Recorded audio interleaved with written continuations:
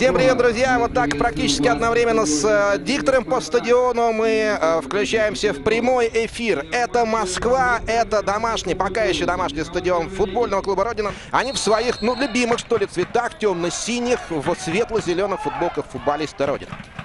Поехали, матч начался. Думаю, если бы там не было забора, он бы так и сделал. И мяч бросает прямо в штрафную площадь. Тот оттуда вылетает.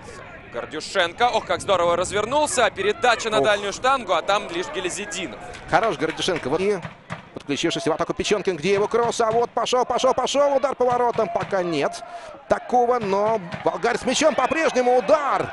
И опять героически совершенно ведут себя центральные защитники, бросаясь под каждую попытку такой удар нанести. Снова технично сыграл, подкинул мяч над катящимся соперником. Петухов дальше направо. Голдобин попытался пробить. Ох, Колдобин. Молодец, увидел, да, что можно пробить и дают, самое главное, возможность ему это сделать. Ну а пока команда без него атакует. Гордюшенко. Хороший по штрафную. Адаев, Ну-ка! Гордюшенко! Офсайд.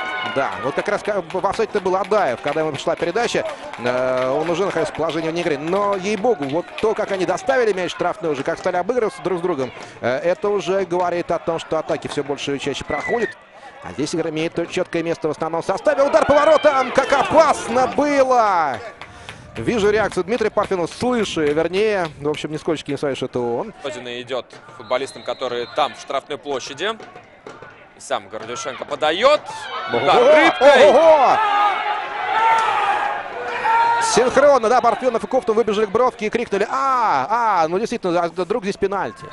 Все, у нас на этом дает финальный свисток Иван Абросимов. Ну что, э, в таких случаях обычно говорят боевая ничья.